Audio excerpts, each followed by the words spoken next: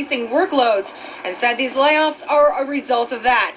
Now, many employees who were laid off said they saw this coming and despite the bad news, are trying to remain positive.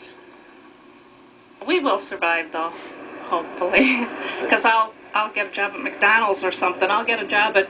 I heard Wegmans a good place to go, Yeah. so they're good to their people. It's tough. I mean, uh, a lot of people are going to have a hard time finding a job. The, the, this area is kind of desolate. I have a CDL. I'll probably get a drive, driving truck for another company. Now, Cinram, a Canadian-based company, announced earlier this week it had lost $25 million. Cinram also said those workers who were, were, were laid off will receive assistance. Peggy Lee, Newswatch 16, live in Lackawanna County. All right, Peggy.